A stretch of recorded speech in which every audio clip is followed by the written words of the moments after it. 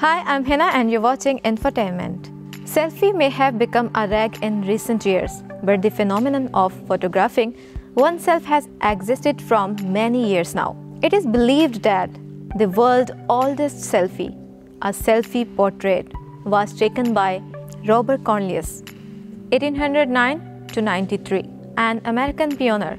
Here is a look at vintage selfies.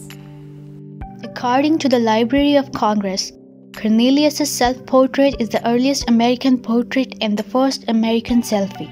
After setting up the camera behind his family's chandelier store, he ran into the frame to click the picture, which shows him slightly off center. Astronaut Edwin Buzz Aldrin Jr. took the first selfie from space during the Gemini 12 mission on November 12, 1966.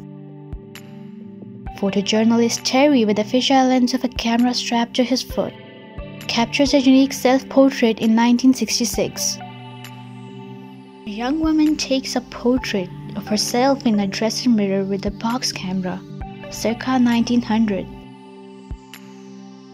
A self portrait of German American photographer Lotte Jacobi, taken in Berlin, Germany, circa 1930. During the 1969 Apollo 12 mission, astronaut Charles Pete Conrad took a photograph of himself reflected in fellow astronaut Alan Bean's helmet shield. British photographer Tony Ray Jones take a self-portrait circa 1960s.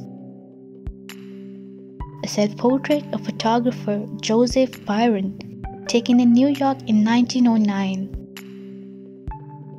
Four people, including the photographer, are reflected in the hubcap of Chevrolet Coupe in the late 1930s. Music photojournalist Don Paulsen takes a self portrait in the mirror in 1964.